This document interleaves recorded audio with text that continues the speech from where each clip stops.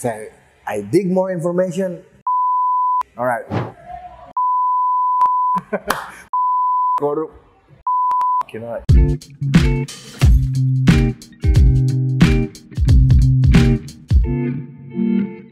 and look at me, I'm I'm getting older, and she's still gonna look like that forever. I think. yeah. So, jadi sempat bangkrut beneran. Iya, kolaps. Jadi saya punya bisnis yang uh, Twice Bar. Itu bisnis saya sejak lama itu, dari tahun 2001. Kolaps because of pandemic. Bong Hostel baru aja grand opening langsung dihajar pandemic. Itu kolaps. Rumble clothing line ini Rumble way yang saya gunakan. Uh, my clothing line dan semua clothing line di di Bali dan Indonesia kolaps juga gara-gara pandemi. Band nggak bisa konser kan karena saya di penjara. Billy bilang kolaps. Tapi Kolaps, saya ya? ingat banget waktu di penjara masih sempat bagi nasi kotak ya. Oke, I will I will explain that uh, mechanism. Jadi orang tuh banyak yang heran loh. Kok bisa bisnisnya dia kolaps, tapi dia masih bisa bagi-bagi makanan setiap hari selama dua, hampir dua tahun. Dua tahun. Every day. Every day. Every day. Every day, every single day. Nggak pernah ada absen. Sehari itu kami bagiin 200 bungkus. So here's the mechanism. minum dulu, minum dulu. Thank you, thank you. Sebelum saya jelaskan, karena ini bisa menjadi um, model baru yang bisa ditiru mungkin untuk ke depannya. Saya sih berharap tidak ya. Karena model ini hanya bisa bekerja ketika ada krisis seperti pandemi. Semoga nggak ada ada pandemi lagi. Jadi begini, uh, coach, ketika um, uh, mulai pandemi, bisnis-bisnis kan ditutup tutup tuh. Bisnis tutup. Bali adalah salah satu provinsi di Indonesia yang paling puff, paling merasakan dampaknya paling keras salah satu ya. Karena kenapa? Majority of our um, apa namanya foundation of businessnya di Indonesia di Bali sorry is tourism. And close. Yes. Entah itu turis lokal, domestik, internasional, nggak ada. Lumpuh, Bali lumpuh. Alright. Dan sumbangan apa bantuan dari pemerintah juga, you know Indonesia, we still that country that yang masih korup. Gila. Aduh. Di masa pandemi lagi korupnya. Gila nggak tuh? Gila itu gila. itu psycho man. Anyway, uh, jadi begini. So I, saya muter otak saya nih. Oke pandemi, Bali lumpuh. What's gonna happen? Uh, bantuan pemerintah nggak merata, banyak orang kelaparan. Orang di Bali itu yang buka semua orang Bali di Bali itu apa? Pendatang tuh banyak banget. Dan mereka nih ngandelin hidupnya dari pendapatan harian. Yang kayak contohnya anak-anak pantai yang kesehariannya tuh ngandelin nyewa nyewa nyewain papan surfing. Terus eh, apa namanya eh, artis tato yang ngandelin tamu tatoan. Banyak lah pokoknya eh, yang nggak- mereka tuh tidak punya pendapatan tetap itu loh. Yang eh, masih ngandelin harian gitu. Kayak dan orang-orang seperti itu di Bali banyak banget. Mereka bisa apa coba dan berapa lama mereka bisa bertahan so I think like man kalau kalau- if no one doing anything about this what the only thing that's gonna happen is kriminalitas pasti Pasti. meroket. Itu saya udah pikirin. Dan I have to do something, you know, like, saya nggak bisa diem aja Bali itu diginiin. Yang gawat itu di ibu kota kan, yang gawat tuh di eh, Jakarta lah. Di Bali tuh rumah sakit tuh kosong, nggak apa pasien COVID nggak- it's like paling satu dua enam lah, kenapa kita harus ikut gawat? That's my simple pertanyaan saya. Kenapa kita harus ikut gawat ya? And then itu pertanyaan seperti itu tuh akhirnya membuat saya like let me find out about about this uh, pandemic first, you know, kon- uh, kon- uh, untuk for my next move. So I think like, okay, this is ini masalah Bali ini ini banyak orang kelaparan dan mereka they will do anything Eh, jika mereka sudah tidak tidak punya apa-apa mereka will they will do anything to survive that's not good for Bali bagaimana cara cara saya membantu situasi ini. So I learn the problem first. Saya study, cari informasi pembanding. That's that's why balance is important kan. And then yang yang saya dapat dari setelah saya banding bandingin informasi itu ya akhirnya saya tiba di di kong, sebuah apa conclusion, well uh, the virus is real okay? It's not uh, saya nggak bilang covid itu nggak ada. Virus is real. Daya bunuhnya survival rate 99 99.9 kemungkinan anda meninggal uh, tertimpa piano dari lantai 30 di gurun Sahara itu mungkin lebih tinggi probabilitasnya. Kecelakaan mobil, itu lebih tinggi lagi jauh jauh lebih tinggi. Kenapa kita harus takut seperti ini? Saya I dig more information. Alright ada koneksi ini ada koneksi ini. Mereka punya kepentingan. How to counterbalance that? Dan gimana caranya membuat counterbalance itu punya benefit untuk membantu orang yang benar-benar kelaparan. So ada ide I'm I'm gonna make merchandise. Merchandise-nya tuh uh, campaign kayak Bali tolak rapid. Karena sudah terbukti alat rapidnya fake it doesn't tell you anything it's unvalid. Itu fakta apa pemerintah juga sudah mengakui ya kan? Sudah ya. Iya. So saya serang apa itu Bali tolak rapid terus lagi satu eh, WHO mereka banyak bikin statement yang blunder nggak masuk akal lagi bilang ini lagi bilang itu saya bikin t-shirt yang ya intinya campaign anti WHO lah seperti itu. And kenapa saya berani bikin merchandise? Karena saya pikir pasti banyak orang-orang di Indonesia ini yang yang di luar Bali ya, yang di luar Bali yang merasakan hal yang sama seperti saya. Dan mereka mungkin mereka nggak terpengaruh secara ekonomi, mungkin mereka tuh PNS atau mereka punya usaha yang sudah stabil, tidak tergantung sama pariwisata. So they can help orang-orang yang tergantung dengan pariwisata. Jadi I'm connecting good people, uh, people who's like has the same frequency as me. I connect them all, and then they yang kan mereka yang, yang masih punya tabungan lah, masih bisa hidup lah. Mereka bisa bantu yang kekurangan ini. Jadi jalan tengahnya itu bikin merchandise, penjualan merchandise disubsidi untuk memberi makan masyarakat sekitar kota selama 2 tahun. Bukan untuk untuk saya pribadi nggak ada, sama sekali nggak ada. The money juga kan? uh, some good people exist, angels exist. They help. Yeah, they did. They don't want me to mention their name because they are powerful. Orang-orang penting juga. But but they help. You know, like ya intinya orang baik itu banyak ketika saya di penjara. ya. Dan bahkan dari bagian part of the government juga. Ya. Tapi jarang ya orang Hmm. bisa berpikir tentang orang lain di mana dia sendiri sebetulnya dalam penjara. What can you do in Oke, kalau di penjara di LP Kerobokan saya punya kesibukan kan, karena saya bikin band di sana, ka- kami bikin studio musik. Di Rutan Polda Bali, kasus pertama, di Rutan Polda Bali saya empat bulan. Nggak boleh ada gitar, nggak boleh ada alat musik. What will you do selain berpikir?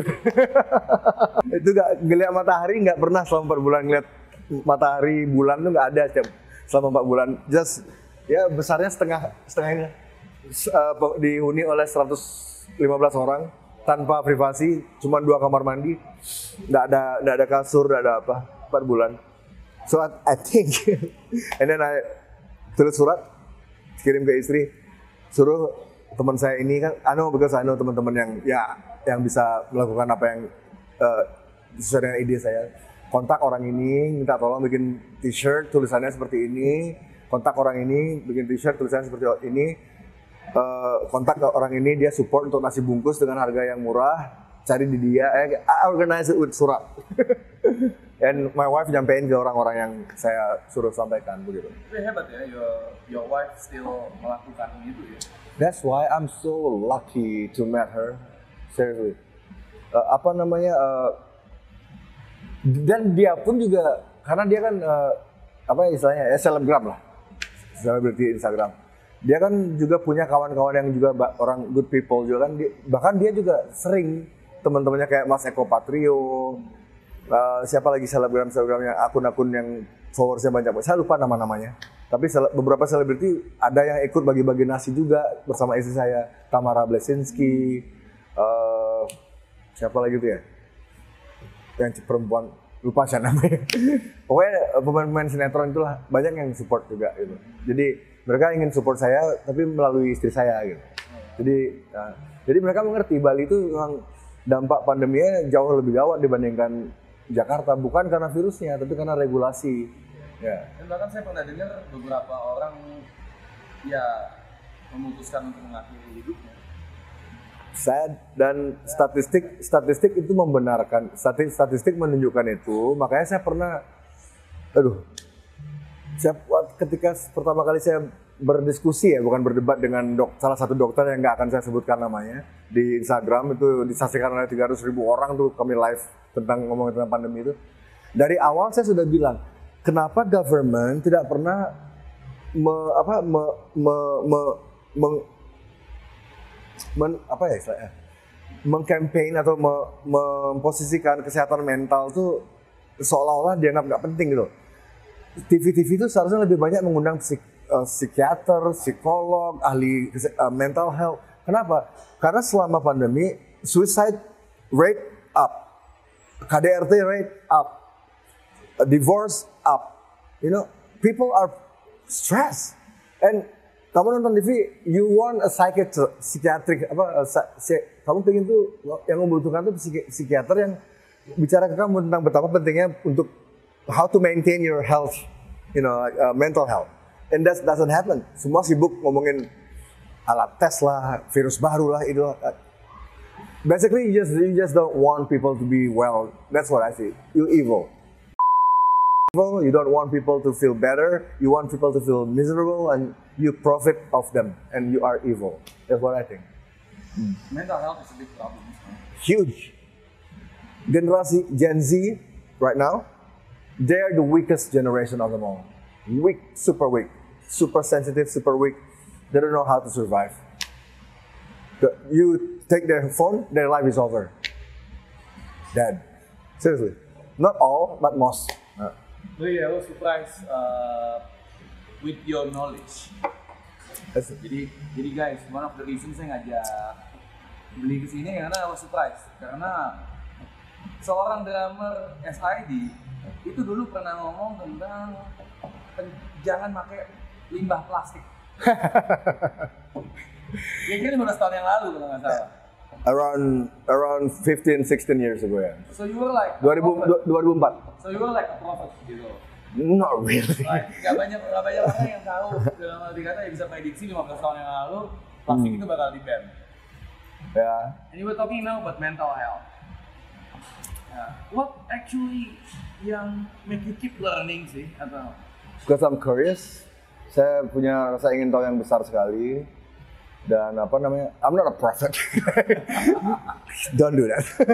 nanti nanti nggak diundang-undang ya saya ntar oh jering nabi jadi kalau nggak ada jering nggak nggak mau ngundang ya saya don't don't put me in that Oh, situation. drama lah ya, drama ya. Drama. Ya ini jadi Drama, sorry, ya. sorry. I say something wrong guys. ya bahaya loh meng- memutuskan orang tuh bahaya sekali. apa namanya? eh, apa sih pertanyaannya? I'm, I forgot. Belajar. Oh belajar. Belajar. Ya eh, apa namanya belajar tuh is not, k- kamu tuh bisa belajar bukan cuma dari sekolah atau university ya. You can learn from everything. You can study people's behavior and then you will find some pattern and from that pattern you will you you find a knowledge that none, not a lot of people realize. You know like you can study from animals, you can study from nature, you study from uh, reading news from all over apa dari baca berita dari ba- banyak media-media yang yang berlawanan dan you kamu tiba di di tengah-tengah and you make your own con- conclusion keputusan apa uh, ke- kesimpulan sendiri tan- tidak kiri tidak kanan but you are free. I think you have to keep that spirit untuk because uh, the, uh, the world keeps changing right? The world keeps changing the world is turning. Jika kamu tidak terus belajar ya kamu akan ketinggalan. That's what I think Keep learning, open mind, even though you're already successful drummer. open mind is a must because apa namanya what we think that yang apa ya ini, ini menarik ini kadang-kadang kita tuh we think that we are open minded sometimes, but in reality we're not. Ini makin seru guys. Iya. Minum bir aja dulu. Kemejanya coach hari ini saya kasih oh, dari 1 sampai 10 8. Thank you, thank you. Karena belum pakai ini nih. Rumble. Kemeja kampung. Besok dikirim sama sate pandingin. Siap. Nanti babi, ya, makan babi. Apa, tadi udah ya? Apa? learning. Keep learning ya. Belajar keep. Harus harus dan uh, ya untuk untuk survive ya. If you want to survive in this world, kecuali anda sudah lahir kaya raya, sudah makan dari sendok perak segala macam ya, you don't need to think, you just uh, you know lanjutin apa yang diwariskan orang tua ya beda case ya. Tapi kan most people doesn't have that privilege kan. 99%. 99.9% that doesn't have that privilege. So if you want to survive, kamu harus uh, keep an open mind. And sadari juga kalau kamu tuh bisa salah itu.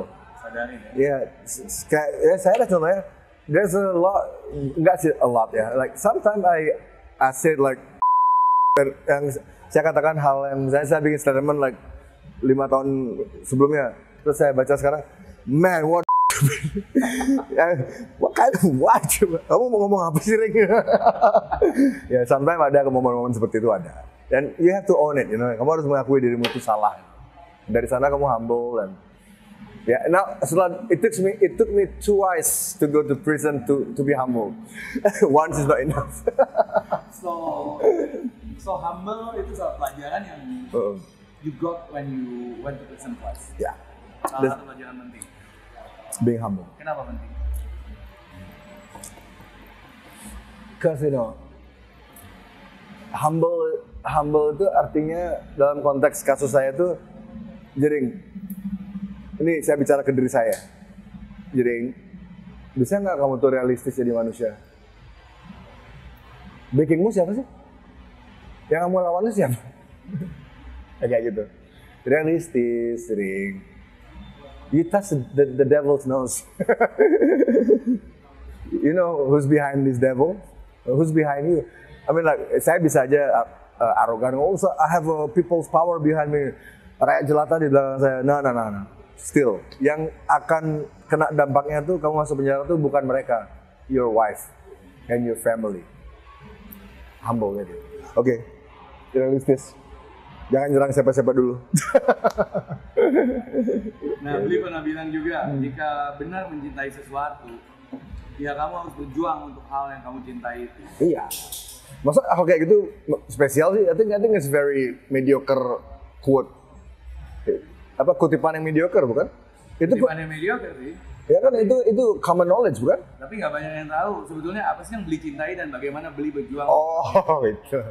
Yang saya cintai sebenarnya eh, satu keseimbangan, dua kemerdekaan. Itu. Keseimbangan dan kemerdekaan. Ya. So that's what I'm aiming to fight for.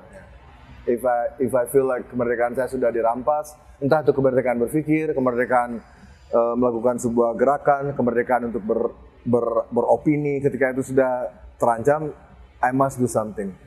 Tapi setelah dipenjara dua kali, saya harus rekalkulasi ulang. Mungkin nggak langsung apa nggak langsung react, react diskusi dulu sama istri, diskusi dulu dengan kawan-kawan yang punya pengalaman, yang lebih berpengalaman. Sampai. Hmm. Nah, satu hal juga yang saya kepikiran, beli kan selain sebagai musisi juga seorang pebisnis. Pebisnis. You punya hotel, um, Hostel, sorry. Hostel. Ah. you punya bar, which is guys, ini baru buka 4 sampai 6 bulan ya, tapi udah ramai banget. Ya lumayan lah. Kami baru grand opening baru 18 Agustus, Agustus kemarin grand openingnya. Wah, Yang pas ulang tahunnya Superman is Dead di sini. Kami bikin panggung di depan sana. Jadi ini namanya bar kami kami kasih bar and resto. Ya eh, bukan cuma saya ownernya. Jadi ada beberapa kawan juga. Begitu. pizzanya ciamik guys. ya, I agree with that. Pizzanya memang enak. Kerasnya dapat. Kenapa kok bisa berpikir untuk bikin bisnis di tengah kesibukan SID?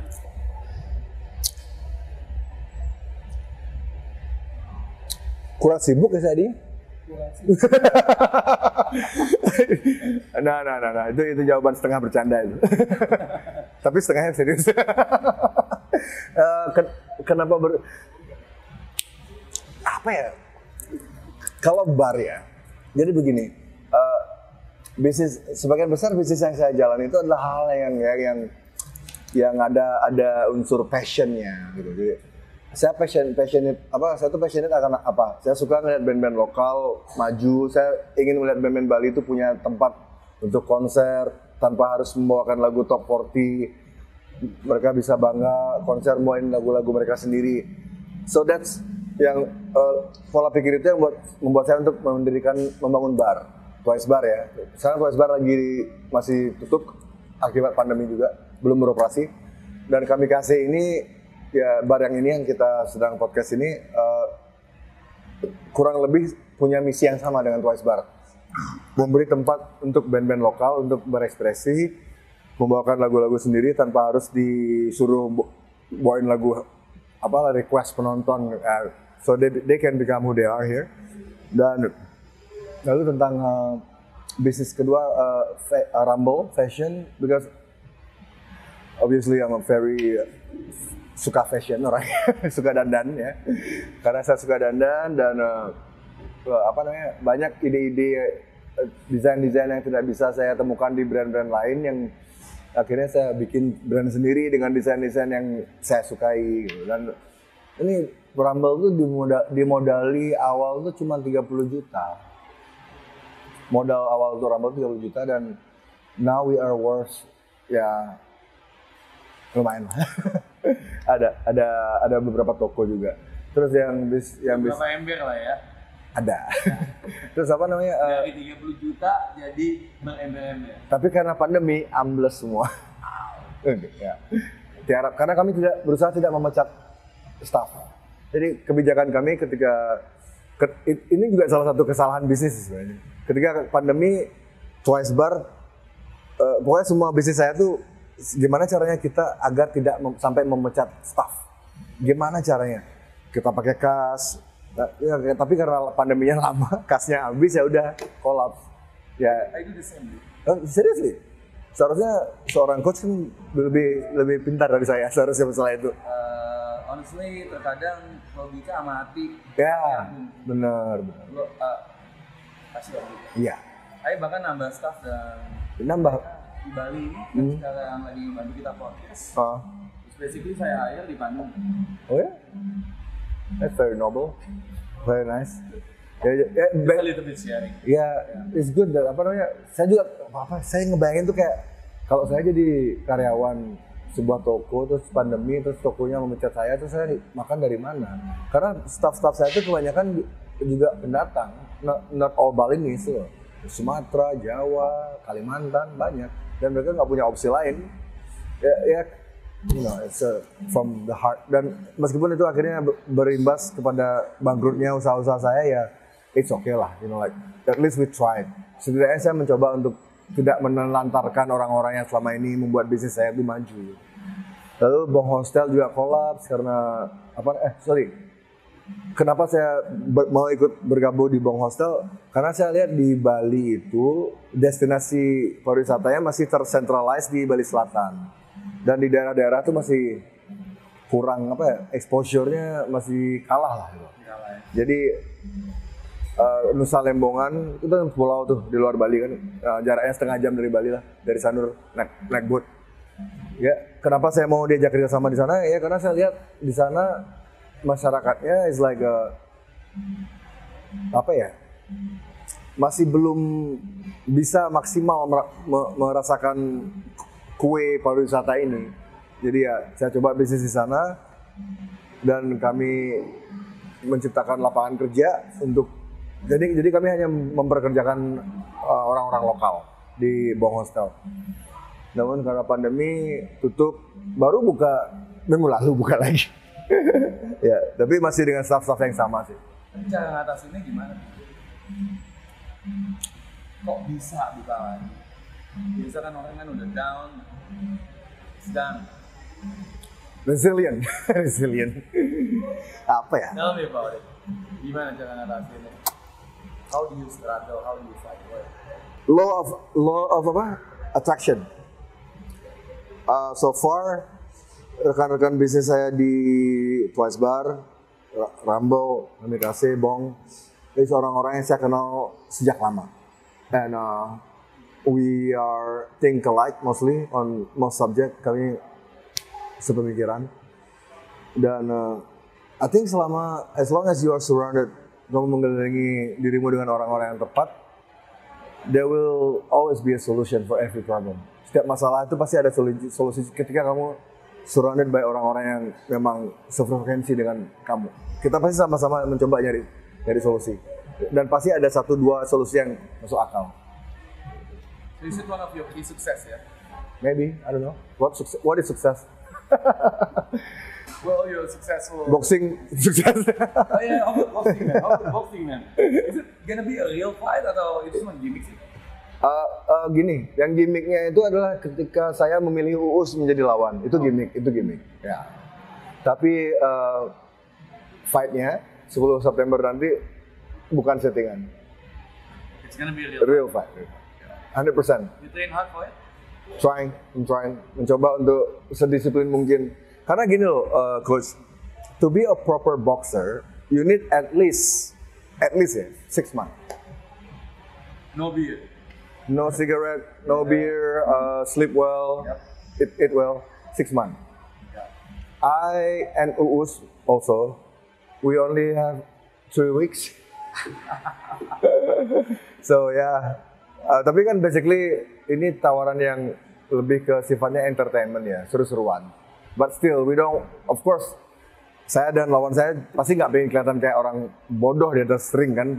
At least we know the technique, we know how to footwork, you know. I don't We- want you to get knocked out, man. I don't think that will happen. Wah. Don't worry, don't worry about it. Yeah. Uh, and apa namanya? Uh, the origin of the origin lagi. The apa namanya? Actually, yang sebenarnya awalnya tuh yang bertanding itu istri saya. Oke, jadi Oke. Nora ya awalnya. Ya betul karena uh, terus uh, Nora ditawari. uh, saya nggak akan sebut nama calon lawannya ya. Uh, perempuan juga. Uh, selebgram lah, selebriti lah. Entah kenapa sang selebriti itu tidak mau melawan Nora. Akhirnya Nora cancel. uh, tapi promotornya ini memang ingin menang saya juga gitu. Uh, kalau beli jering bagaimana gitu. Istri saya nanya, Pak ditawarin juga nih Pak. Uh, alright, uh, boleh nggak saya milih lawan saya? And mereka bilang boleh. Jadi saya kasih nama-nama orang yang saya despise. yang benar-benar saya punya masalah itu saya kasih daftar-daftar namanya, saya kasih alamat Instagram mereka. Jadi biar promotornya yang kontak mereka gitu. Kata promotornya sih nggak ada yang mau. Ada yang But mau. I don't know, you know. Maybe they don't contact them. Maybe message-nya nggak nyampe. Wih, Saya nggak tahu, tapi versi mereka sih oh nggak ada yang bisa beli. Kalau Pada pada kasus pandemi sih kayaknya mau beli, I assume kayaknya lebih kecil dari beli kali ya. Oh, Wise. Jadi mungkin nanti pertandingannya Enggak enggak. Yang saya nama-nama yang saya masukin tuh eh, gini gede-gede Oh, gede oke, orangnya. oke, oke. Bahkan ada satu nama yang yang eh, karena butuh banyak opsi kan. Iya. Kalau dia nggak bisa nama Ahmad Dhani saya masukin. ya karena, karena, karena saya pikir ini Ahmad Dhani ini orangnya keras juga kan. Iya.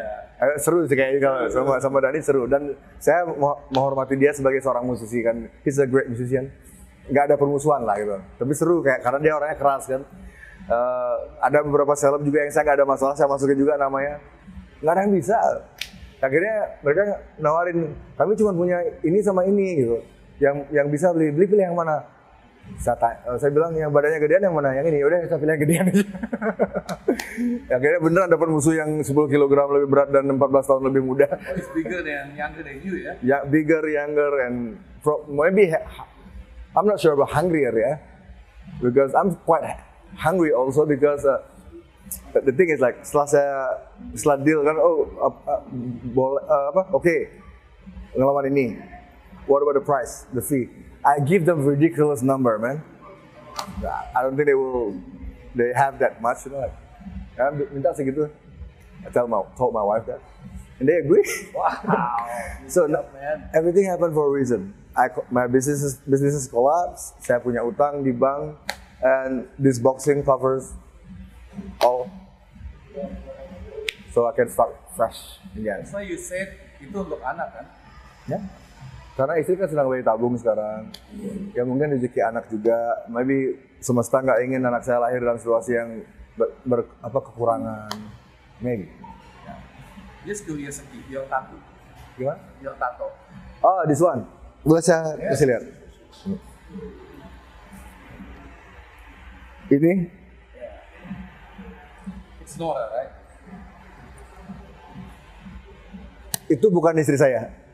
Tato ini. Menarik. ah, gini, jadi saya membuat tato ini 2017. Ta- eh, s- eh, referensi tato ini adalah dulu saya terlibat di gerakan Bali tolak reklamasi. Jadi ya Bali tolak reklamasi. Jadi ya, menjadi eh, sebuah campaign sosial yang bagai bola salju gitu, loh. makin lama makin besar.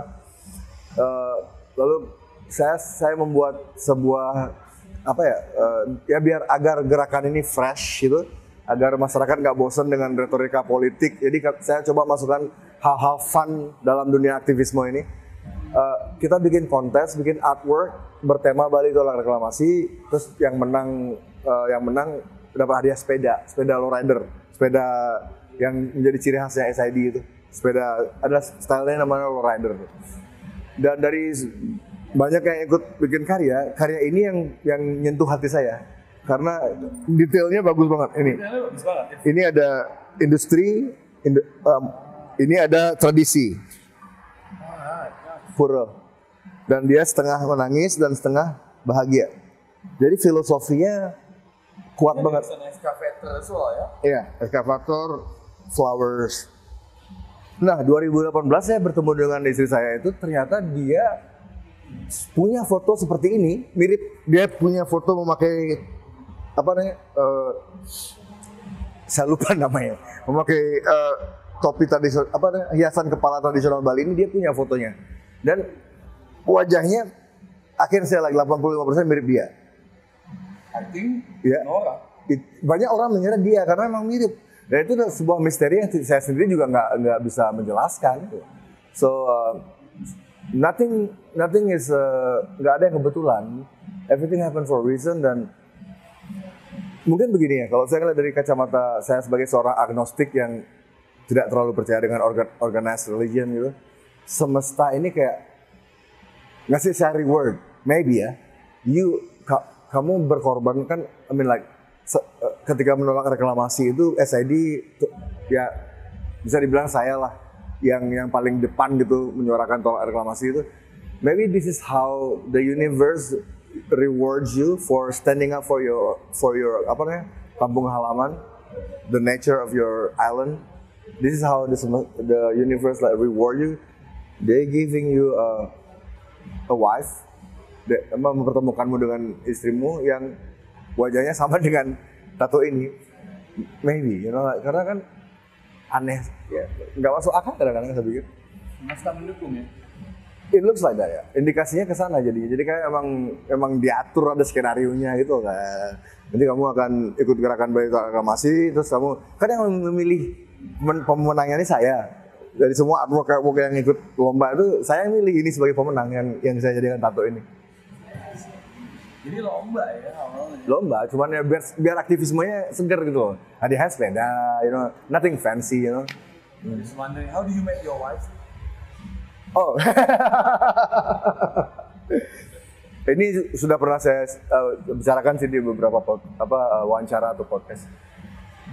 Funny jadi Atta Halilintar tahu Oh, ya. oke. Saya juga nggak nyangka kalau apa histori pernikahan saya akan akan ada namanya Atta Halilintar terlibat itu. Saya juga out of this out of this world banget jadi eh, lagi nggak lagi apa lagi nggak you know lagi call it, lagi gabut itu di rumah nggak ada kerjaan tuh kan Eh, explore Instagram kan eh, set oh Atta Halilintar waktu itu dia lagi jadi apa apa su- subscriber terbanyak atau apa gitu loh. Oh, iya, iya. Jadi dia banyak nongol kan di ekspor. Ternyata dia punya clothing line saya lupa namanya Ata atau Aha itu. Aha ini ya. Iya. Oh dia punya clothing line. Kan saya juga punya clothing line. Jadi saya pikir ah cek ah siapa apa ke mana sih arah arah fashionnya anak-anak zaman sekarang gitu. Saya masuk ke akun clothingannya saya dan, wih ini modelnya bule dari mana gitu. Kok hebat ya dia bisa bisa nyari model. Saya pikir gitu. Hebat juga dia bisa nyari model model bule keren kayak gini. Soalnya kan saya lihat wajahnya mahal kan. Ini bukan bukan modal bule doang ini. Emang She look like one of women sebenarnya, sama ya banyak orang bilang begitu. Eh, eh, apa namanya? eh, mahal. ya itulah. This is Hollywood type, you know, like, saya, mikirnya gitu. Oh mungkin karena AHA eh, punya banyak duit, mungkin mereka bisa bayar. Saya iseng saya cek kan karena di namanya akunnya istri saya itu di tag juga kan di sana. Bu, ini bule siapa sih? Cek, saya tag, she's following me. Oh, Oh, ikuti balik? What? Who, who the hell is this woman? Saya nggak tahu dia orang Bali. Saya pikir dia tinggal di Jakarta atau di mana gitu. Saya nggak tahu dia tinggal di di Indonesia malah. Saya pikir dia ke Indonesia untuk foto doang terus balik ke negaranya. Karena di pikiran saya ini bule gitu bukan orang. Oh, ikuti balik. Saya cek dulu kan eh, eh, DM. Ternyata dia udah dia sering kirim DM ke saya tapi nggak pernah nggak pernah saya baca.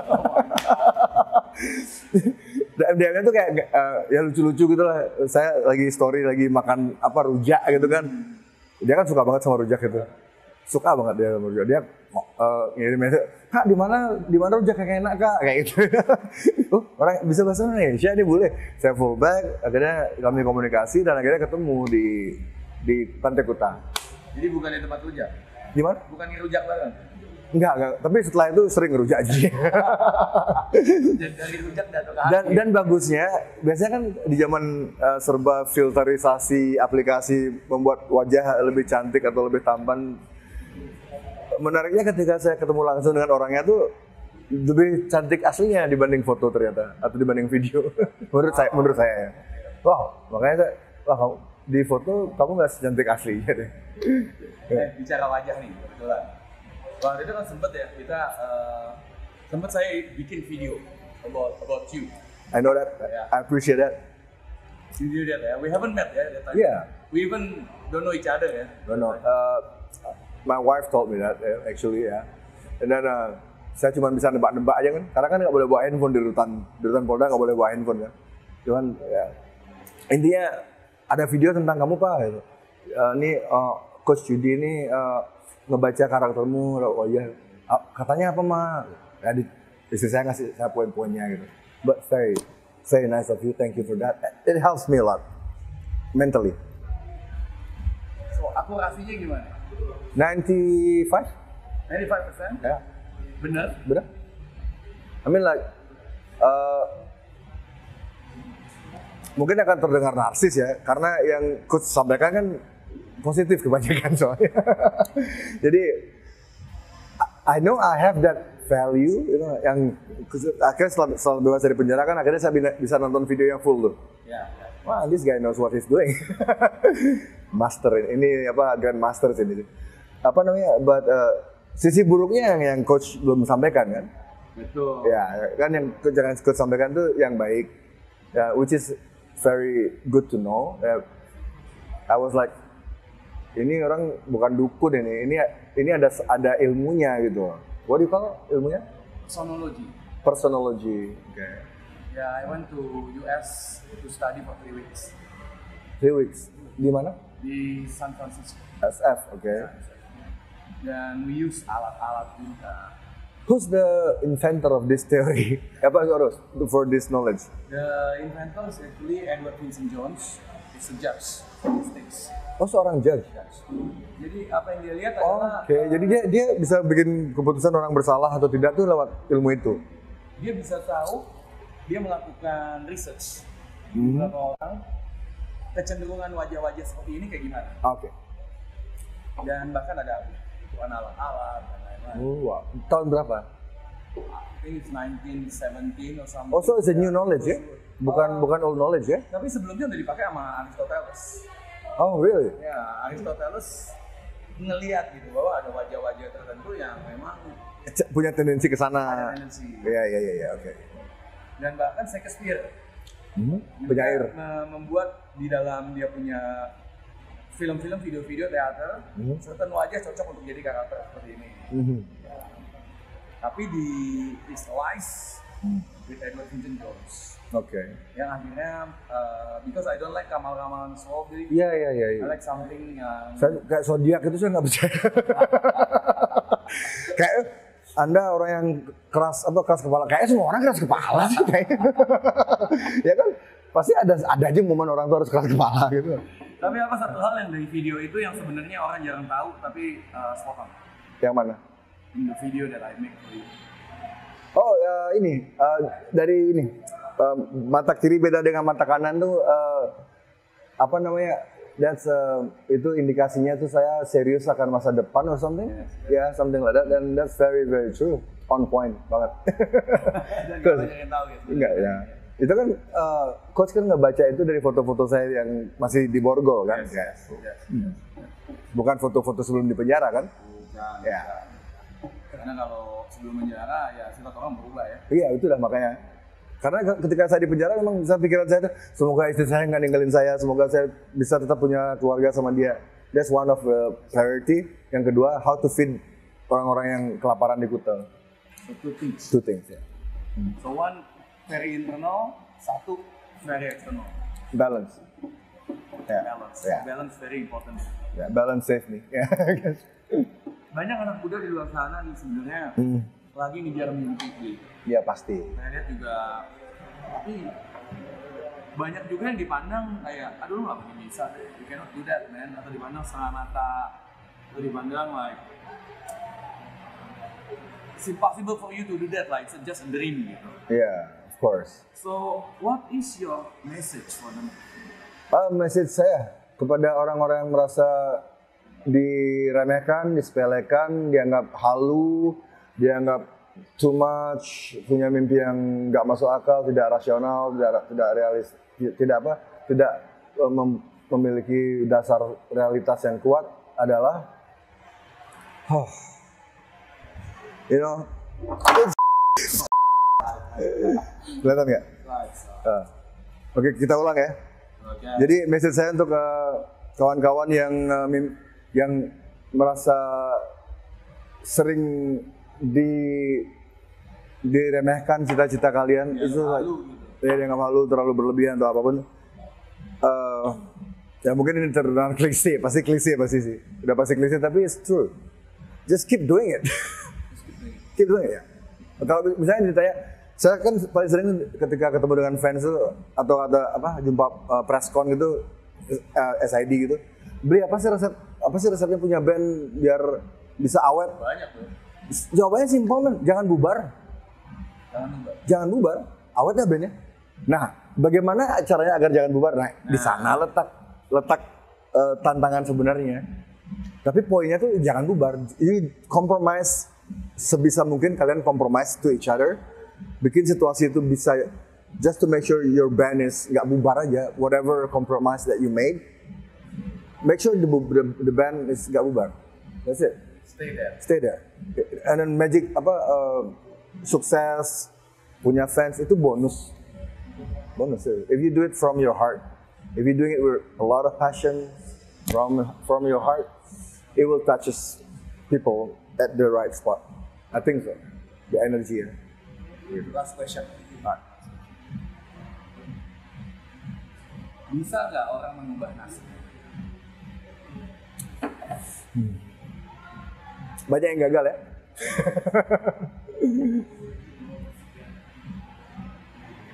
Saya harus menjawab serealistis mungkin sih ini sih. Karena sistem negara kita bobrok bro.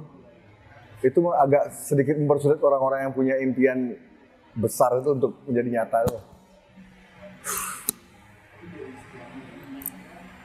I would say like if you want it jika kamu menginginkannya, menginginkannya sangat-sangat mengin- menginginkannya dan willing to to sacrifice a lot, you can. really really want it You have to be really really hungry, super passionate about it, dan bener-bener that's the only one you you think you know you chase. you go, it will happen. I think. Tapi kan nggak semua orang punya willpower yang sekuat itu kan. Lots of people they give up easily. Like me today, uh, saya sparring pertama kali. Seumur hidup saya nggak pernah sparring tinju dengan uh, dengan siapa pun. Saya nggak punya background tinju. Dua ronde, udah lelah saya, udah nggak punya energi. But my coach told me, you have the energy, you just you don't have the willpower. And it's true. So, saya masih punya energi, cuman will saya nggak ada. You just really Yeah. to want it. Yeah, and you have to sacrifice, you have to feel pain, you have to hurt yourself, you take the risk. Eh, eh, semua dalam apa pun ya musik, eh, entrepreneurship, eh, apa jadi art seniman apa pun itu ya. Just jangan pernah berhenti, just keep doing, keep grinding bahasanya, just keep grinding, you know like a, mau jadi apakah kamu mau jadi seorang atlet atau apa pun itu, yeah, you have to really really want it, really really want it, and you think about it every day and night. Think about it before you sleep. Think about it when you wake up. It will happen. yeah. Let's go. That's Jerry SID. Thank you, Beli. With Coach Chandra. Thank you, thank you. No, sayang terima kasih. Jauh-jauh ke Bali hanya menginterview saya dan tamu rahasia lagi ya. Last things, bisa nggak? I said ubah nasib, we say together, yes pasti bisa. Hmm, oke. Ubah nasib. Yes, pasti bisa. Oke, thank you, thank you. Hey, thank you, thank you. Thank you, thank you Really coach. appreciate it.